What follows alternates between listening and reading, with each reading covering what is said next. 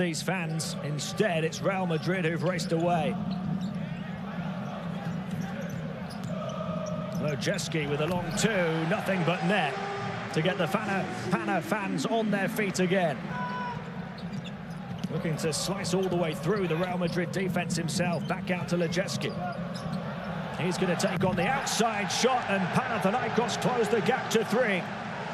Hello, but Madrid shooting the ball superbly early on.